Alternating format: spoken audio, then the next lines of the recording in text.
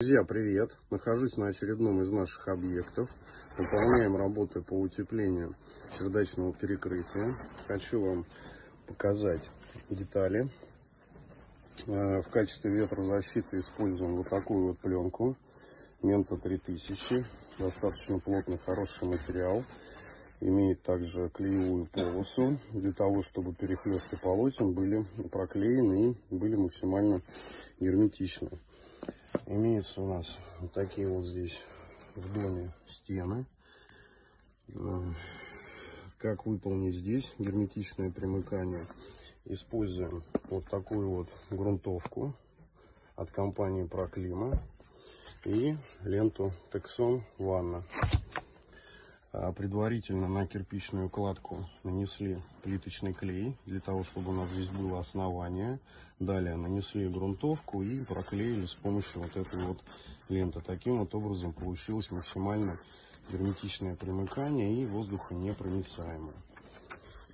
А, как выглядит у нас пирог по утеплению? Здесь вот часть мы не доделали, потому что будем сейчас вот этому основанию устанавливать лаги. Здесь есть возможность как раз показать весь пирог. А, пароизоляцию мы применяем адаптивную. Используем вот такой вот материал. Называется он Десатоп. Также от компании Проклима. Очень понравился в работе. Достаточно плотный. Не боится каких-либо повреждений. Укладываем его между балок и заводим, соответственно, на стены и также полностью проклеиваем. Для того, чтобы у нас пароизоляция была герметична. Далее устанавливаем брусок 50 на 50. И сверху у нас идет еще один брусок 50 на 50.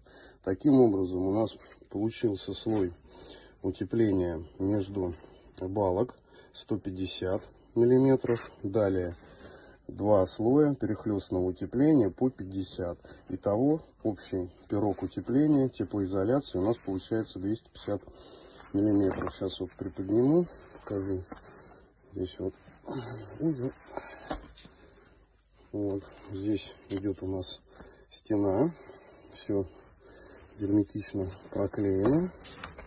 И вот здесь вот как раз видим у нас вложен утеплитель между балок. Вот он, толщиной 150 миллиметров. Вот таким вот образом у нас получается сделать качественное утепление, также пароизолировать его и сверху выполнить устройство ветрозащиты.